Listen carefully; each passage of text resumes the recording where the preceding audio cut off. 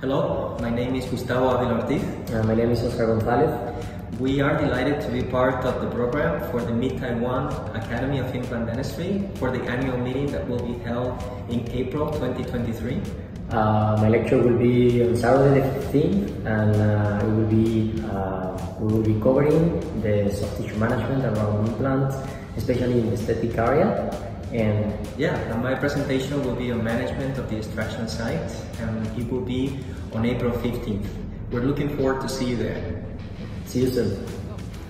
各位台湾的牙医师，大家好，我是王怡卿医师，目前任职于爱荷华大学牙周病科，非常荣幸受到中台湾植体牙医学会的邀请，即将在二零二三年的四月与 Dr. Avila Ortiz and Dr. Gonzalez Martin 啊一起分享我们的研究心得，非常期待这次的机会与大家做意见的交流，明年四月见。